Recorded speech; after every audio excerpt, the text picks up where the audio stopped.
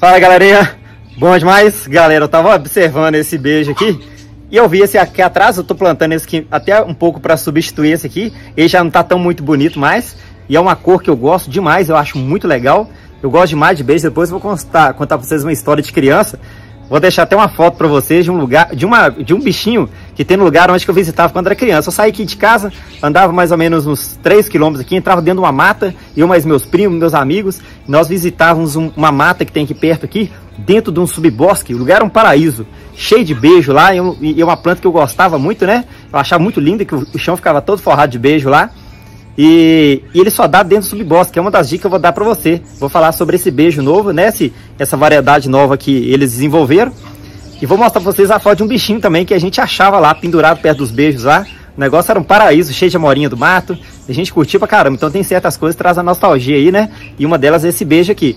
E uma coisa, vou mostrar no final desse vídeo também, uma, uma pimenta. Sempre tinha uma pimenta aqui do meu lado, não sei se vocês acompanhavam. Tinha uma pimenta, parecia que sim, ó, era um vaso que estava aqui na beirada, por isso que a galha dele vinha pra cá e via. E tem um seguidor que falou assim, Anselmo, essa pimenta, cara, não acaba não. Tem um monte de vídeo só aparece essa pimenta aí, cara.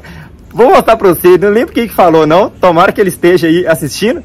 Eu vou pegar o vaso dessa pimenta ali, faz oito meses que essa pimenta tá produzindo, ela não para, eu vou podando, vai alimentando, ela não tá tão bonita, por isso que eu tirei ela daqui. Eu queria renovar o vaso, plantei, andei plantando outras ali.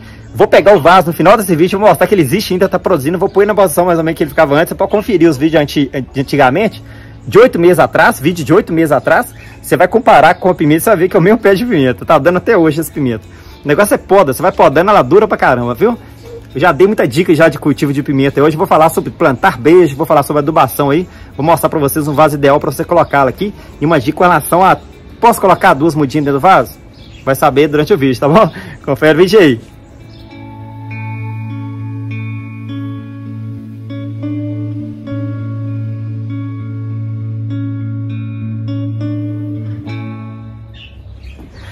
É isso aí, galera. Essa é a plantinha da vez.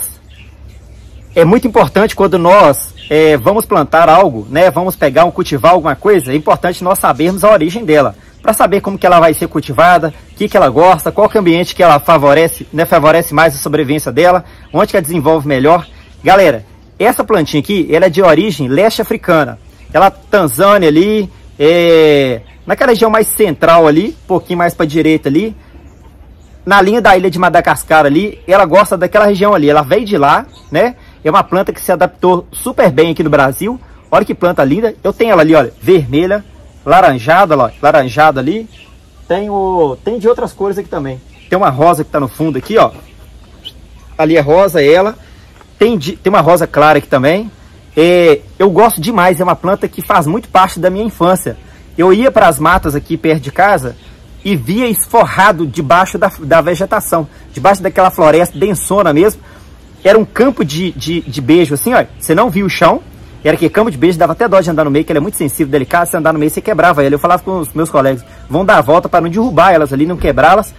E perto dela tinha algumas plantinhas, às vezes você achava, encurvado assim, ó. E na ponta dela tinha um, um, um lá, ele é um roedor da nossa, da nossa fauna silvestre, o cuíga de três listras. Eu vou ver se eu deixo uma foto para vocês aí. Ele ficava pendurado na ponta dessas plantinhas, porque ele é de hábito noturno. Então de dia ele ficava ali, porque se uma serpente subir para comê-lo, ele sente a vibração do capim, cai no chão e sai correndo. É uma forma que ele tem de se defender dos predadores. Então ele dorme pendurado na pontinha de algum raminho assim, e ficava pendurado de cabeça baixa. Nós pegávamos eles na mão, super mansinho, não corria, o bichinho parecia bicho de estimação. Eu te trouxe uma vez aqui para casa aqui, esse, essa cuíca, muito bonitinho. Ele é um marsupial, ele é da família do, do canguru, da família do, dos, é, dos gambás, no nosso caso aqui, né? Ele tem um, uma, uma bolsinha onde carrega os filhotinhos dele. É muito legal, faz parte da nossa, da nossa fauna aí. Ele é muito lindinho, ele é pequenininho, vocês vão ver. Uma fofura.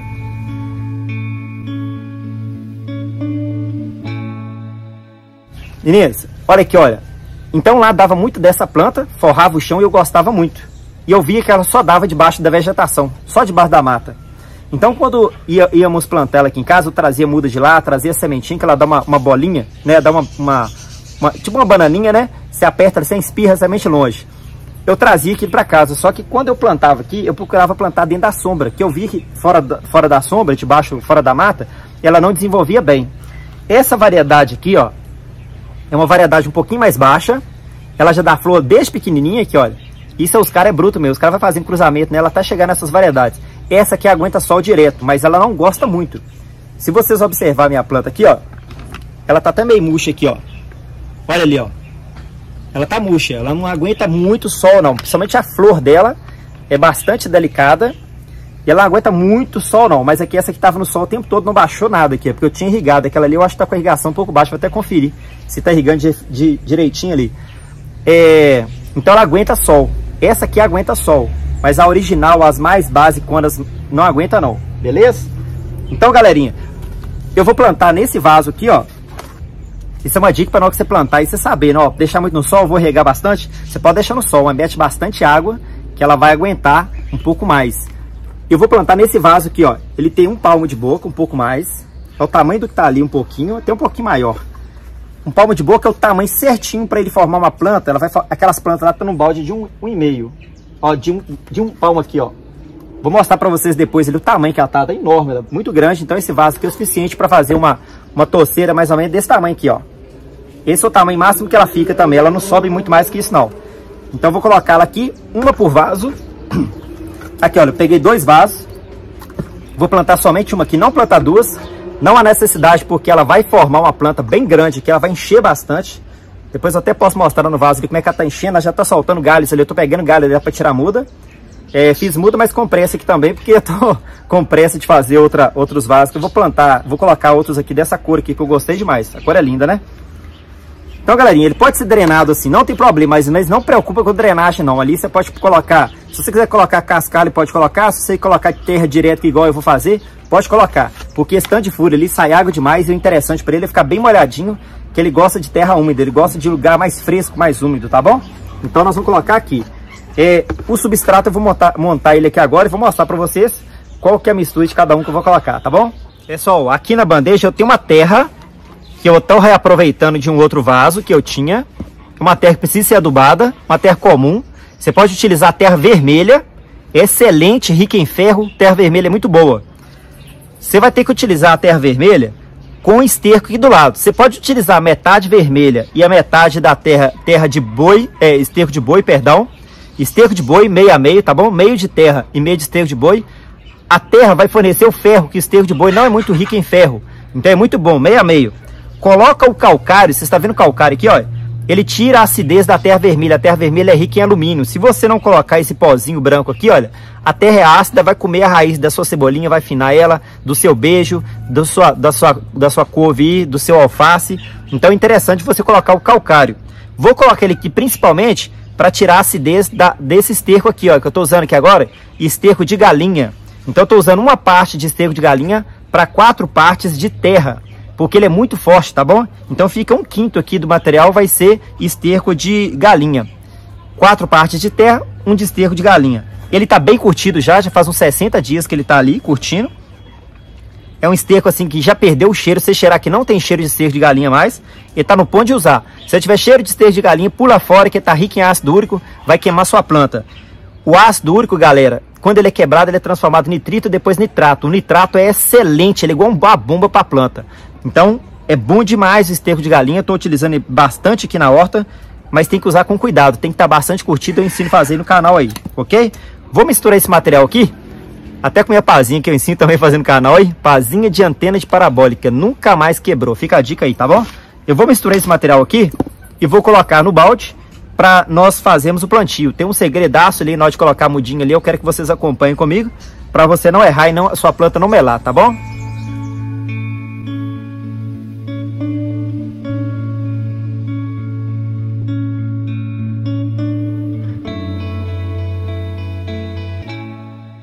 Pessoal, coloquei a terra no vaso. Como que eu vou determinar a altura da muda aqui? Olha, como que eu faço isso com facilidade? Quando eu adicionar a terra no vaso, eu chego e coloco aqui, olha, a plantinha aqui dentro, vejo se a terra que está dentro do vasinho está aqui no mínimo um dedo abaixo da borda do vaso. O alinhamento aqui, ó. Ele tem que estar tá abaixo do, do, nível do vaso. Quando você pegar aqui vai ser facinho. Se você quiser colocar dois dedos abaixo do nível do vaso, pode colocar. Tem que ser abaixo do nível do vaso, que quando você chegar a terra aqui no nível da terra do torrão, se você jogar água, a água não transborda e leva sujeira para o chão, tira a terra de dentro do vaso. Então, eu vou enchendo de terra, depois chego o vasinho e meço aqui, ó. Vejo se a terra do vasinho está abaixo do nível da borda do vaso tá pronto o tanto de terra que vai ser apoiado o vaso em cima. Na hora de tirar aqui, pessoal, para não danificar a planta, você enfia o dedo no meio das plantinha, da plantinha aqui assim, ó. Apoia com o dedo aqui dentro, ó. Aperta aqui atrás, ó. Dá um apertinho aqui atrás e puxa ela. Você vai observar aqui no fundo, ó. Se tiver esse montão de raiz aqui, olha, você vai tirar. Não deixa. Isso aqui é, capi... Isso aqui é uma cabeleira que forma aqui. É uma emboleira. Essa raiz não para de crescer embolado. Ela cresce embolada aqui, ó. Vai embolado, embolado e nunca sai disso não. Ela não vai para dentro da terra, não absorve o nutriente que tem que absorver. Pode tirar isso sem medo aqui, ó. Se tiver muito embolado assim aqui, ó. Você pode tirar aqui, ó. O certo da raiz é, é, é crescer aberta, tá bom? Isso que geralmente a muda quando tá um pouquinho mais velha, dá isso aqui, no fundo do torrãozinho. Limpou aqui, ó, tá a terra aqui, ó, tá pronta para plantar, ó. Coloco aqui, certifico aqui que a, a terra, quando eu colocar a terra aqui dentro, quando eu adicionar a terra aqui, a terra não pode entrar aqui não, ó. Ela não pode entrar aqui não, ela não pode pegar naquele caule lá não, ó. Aquele caule não tem resistência à bactéria de solo. Bactéria, a resistência à bactéria de solo está dentro aqui, a parte de dentro. Ele geralmente é calejado. Se eu cavasse aqui, você ia ver uma parte mais áspera ali, ó. Então a terra tem que chegar no nível certinho do torrão, ok? Então coloquei aqui, ó. Determinei que a planta está equilibradinha, tá bonita na posição que ela tem que ficar. Aí eu pego aqui, ó, e vou adicionando terra, ó. Lembrando que a terra não pode ultrapassar a borda aqui, não. Não pode subir em torrão, não, ó. Deixa eu ver se aqui tá bom. Você pode jogar um pouquinho assim, ó. E olhar se vai ficar bom, ó. Ficou esse nível da borda. Eu vou colocar ela um pouquinho mais, que eu sei que ela vai ceder um pouquinho quando ela for irrigada. Vai ceder um pouquinho, ela vai. Então vou colocar um pouquinho acima, só isso, ó. Determinei a posição da planta aqui. Ficou bem aprumadinha, bem bonitinha, ó. Bem alinhada aqui, ela ficou um pouquinho desalinhada aqui, ó. ó. Tá certinho aqui, ó. É só adicionar a terra agora, ó. Você pode pegar com o próprio vasinho aqui, ó. Vou plantar as duas aqui agora.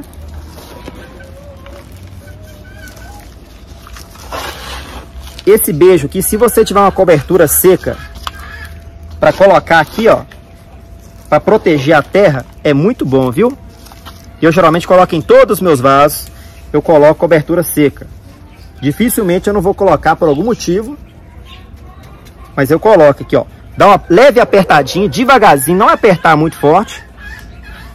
Tá aí aqui, ó. Tem uma folha velha aqui, ó. Já pode tirar. Não é interessante folha velha, não faz fotossíntese. Tá aí plantado, ó. Vou colocar aqui agora uma cobertura seca para proteger essa terra, para não perder água, que ele gosta muito de solo úmido. Então vou colocar aqui uma cobertura seca aqui para proteger esse solo. Pessoal, essa cobertura seca aqui, olha, ela protege a microbiota do solo, que é as bactérias nitrificantes que devolvem nitrogênio para a raiz da planta. Protege as minhocas do solo. Forma um casaco para a terra não esquentar. Não deixa a terra perder muita água. Pouquinho de água que você joga aqui é o suficiente para irrigar.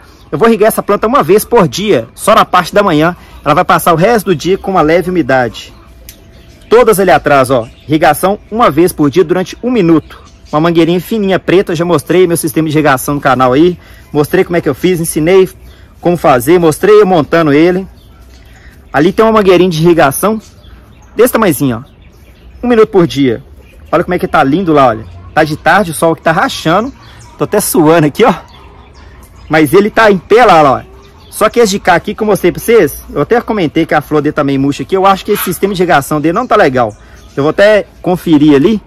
Pode ser que tenha entupido. Pode ser que não, não tá caindo dentro do vaso legalzinho. Olha que lindeza, galera. Aqui agora é só irrigar muito mesmo.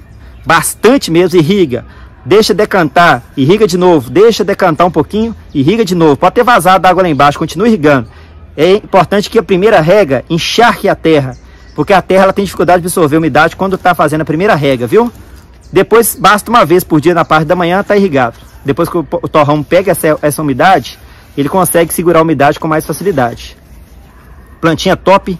Daqui uns dias ela tá aí cada vez mais linda. Já tá enfeitando a horta, né? Linda, né? Vou plantar outro vasinho ali, finalizar esse vídeo e vou mostrar a pimenta para vocês, tá bom? Pessoal, tá aí o beijo plantado. Olha que lindeza. Vou irrigar ali. Aqui tá o outro. Daqui uns dias ele vai ficar grandão, como esse daqui. Mostrei para vocês, né? A flor dele não aguentou muito sol, não. Depois vou olhar ali no sistema de irrigação dele. Tem uma mangueirinha ali, tá vendo, ó? Faz irrigação automática, ó. Eu vou ver se tá tudo beleza com ela. Ela tá ali. Galera, olha aqui no meio. Beijo, beijo. Olha a pimenta aí, galera. Essa aqui, pode pegar o vídeo de oito meses atrás. Pode olhar os galhos aqui, bifurcação. Esse galho aqui, esse, a formação daqui. É a mesma pimenta aqui, ó. Tem pimenta verde aqui, ó. Então quer dizer que ela tá produzindo aqui, ó. Tem aqui. Flor aqui, eu não tô vendo, não. Pô, deu a última vez. Depois da última vez, ela deu umas sementinhas e deu as pimentas aí. Não tá uma pimenta linda, não. Né? Muito bonita, não. Mas aí, ó. É a mesma pimenta, seguidor. Não lembro quem comentou. Nossa pimenta você não acaba, não, cara. Tá aqui, cara. Mesma pimenta aqui, ó. Não acabou até hoje. Pode olhar nos vídeos antigos aí. Pode tirar um print da tela, print do outro e comparar as duas pimentas aí. Caçar os sete erros e você vê que os galhos são o mesmo, tá bom? Mesma pimenta aí depois de oito meses produzindo. Você merece um like, né, galera? Dá um like, curte aí, né? Faz um comentário, faz algum pedido de vídeo. Pode fazer, né? Inscreve no canal caso você não for inscrito. Aqui eu mostro que funciona, tá bom? Tomatinho, plantinha para atrair abelha aí. Uma pimentinha para fazer o tempero aí. É isso aí, galera. Brigadão. Desculpa qualquer, qualquer coisa. Espero que tenha gostado. Espero que seu beijo fique mais bonito que o meu.